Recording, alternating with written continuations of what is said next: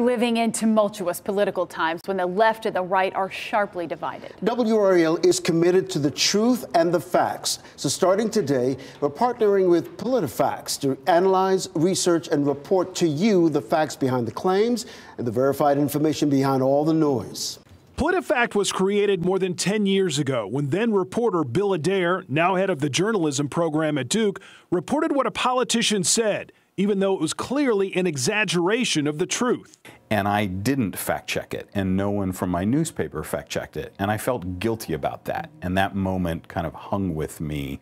And that's ultimately what led to PolitiFact. His idea was to research the claims politicians or pundits made, to talk to them and research the sources behind their statements, and will rate the statement on the truthometer from true to mostly true to false or worse, pants on fire, a designation meaning a claim is so false it's ridiculous. In recent years, it's become more acceptable to use deception as uh, a political strategy.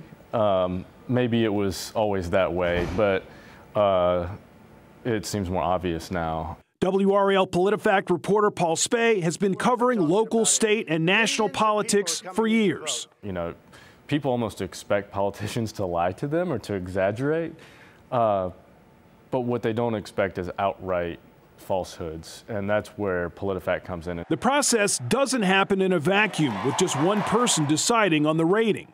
One thing I love about PolitiFact is that the format is very structured, and it's it's not up to me to decide what is or isn't true. It's up to me to go do the research. And then it's up to uh, the research to tell us what is true. After the reporter says where he thinks it lands on the truthometer, he presents his research to a board of three trained editors who make the final call based on the evidence they have. It's all in an effort to bring you the best and most researched report possible. It's about giving people important information in a democracy so they can make smarter decisions.